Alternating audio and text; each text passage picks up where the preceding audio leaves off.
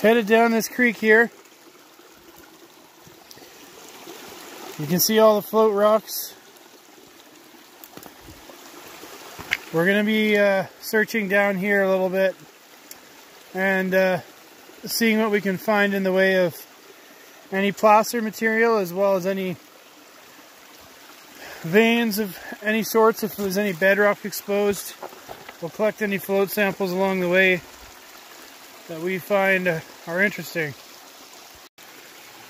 Our first float sample here, pyritization in quartz.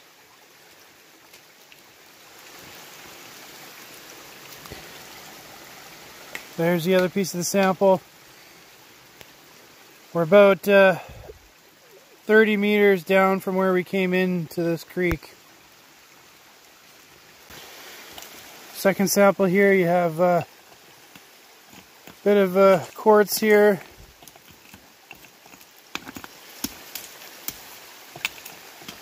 And a little bit of mineralization, which is pretty common for this creek here. Are going to find some disseminated sulfides.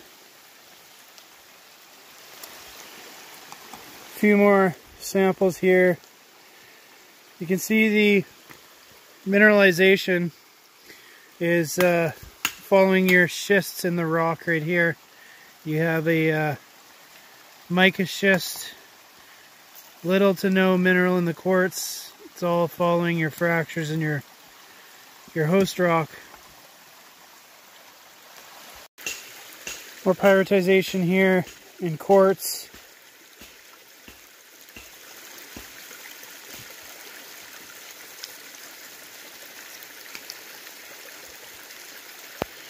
Similar sample to the last one, although the quartz has a little bit more mineralization in it. More float samples here. You have a very brittle and coarse pyrite, which is running with quartz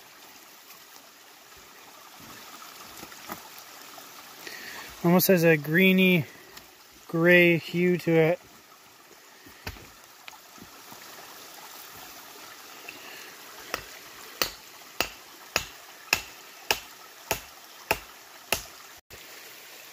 Another piece of quartz here with chalcopyrite. And like most of the host rock in this area, you have disseminations of iron pyrite running with chloritized schists.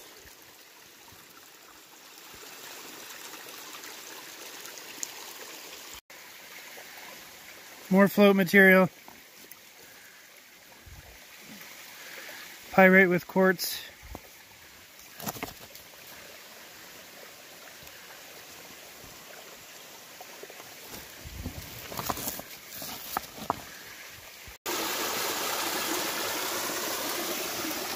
We have a quartz vein here.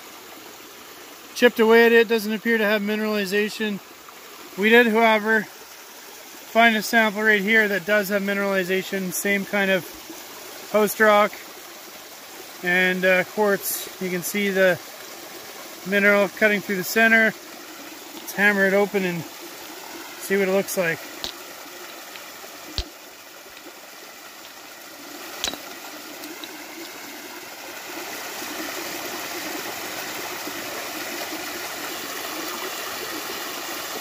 So pretty intense pyritization, consistent with some of the other quartz veining we've seen.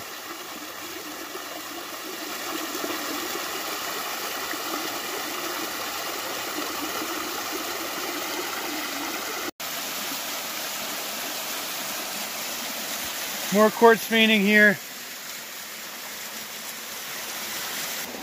Right by this quartz vein here you have a little bit of an alteration in your rock. You can see the, the green here, some epidotization with the quartz. There is still quartz in there.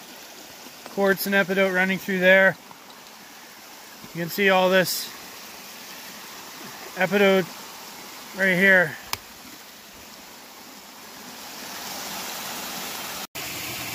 Okay, so about 10 meters away from that quartz vein, you can see all your schistose rock here.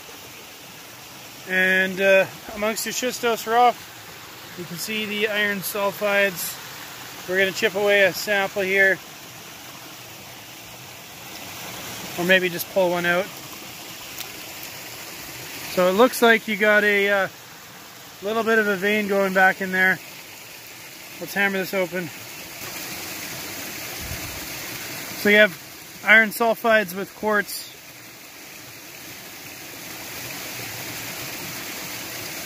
It's about a three centimeter wide vein. Here's more.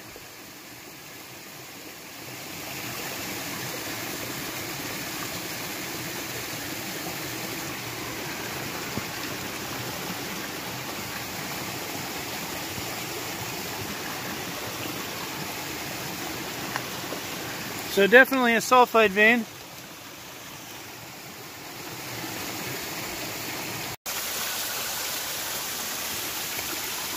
So right here, we have uh, schistose rock. This is your bedrock here. And uh, right here you have mineralization amongst your schists, disseminated pyrite. I'm gonna hammer a little bit of this away and see if I can't find anything decent. There is a quartz vein down there, a small little one. We're to check that out when we get down there. You know your rock's schist when it breaks apart like this.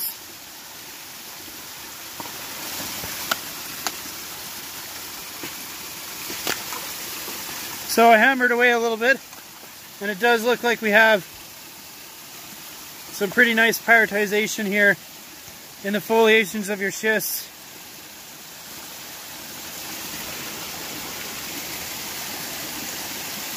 Possibly a bit of uh, chloritization in uh, quartz veining in there. So we're going to take a sample, I think,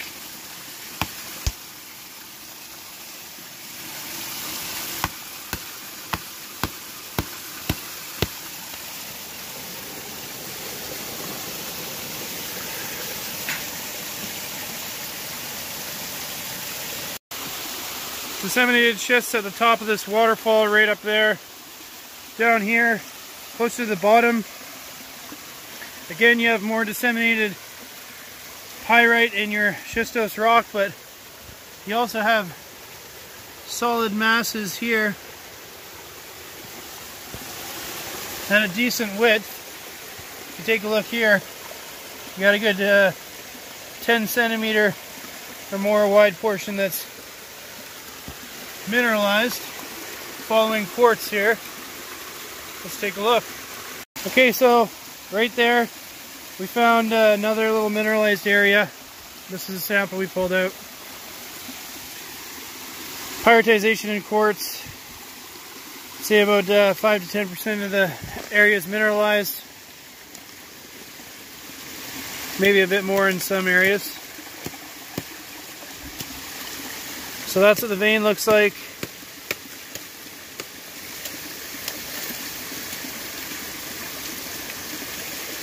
And this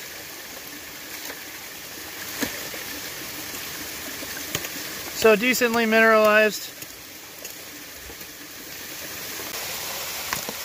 And now if you uh, take a look down by my feet, that first vein we found, we hammered a bunch off.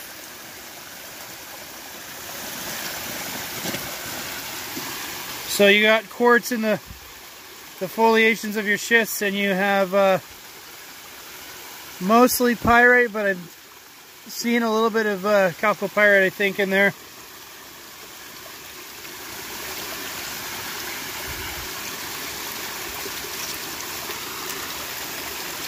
Quite a nice area that's mineralized here.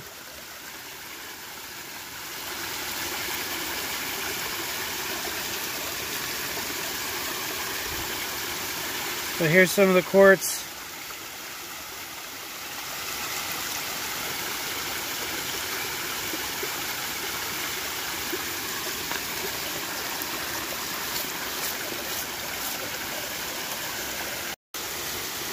Broke a little bit more off and here's that sample.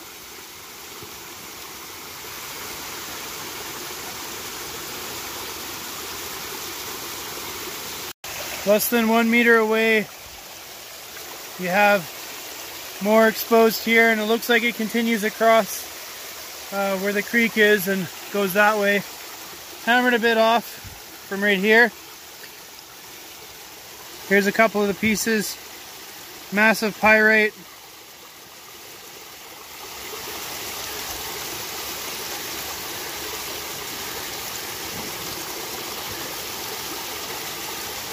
So very pyritized. And again, it looks like a lot of the uh, actual mineralization is more in your your host rock than anything.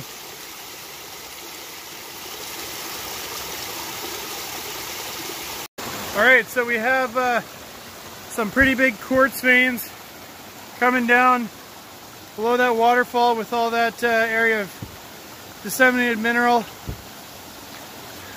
We took a look and uh, it covers about 17, 18 meters of the creek where you have up to 75% mineralization in your uh, in your host rock. So pretty interesting. Most of the quartz veins below that if not all of them, are virtually barren. Other than this one down here, which uh, you guys have seen if you've checked out our second channel. A little bit of a pyrite, chalcopyrite. In this one here, not a whole lot, but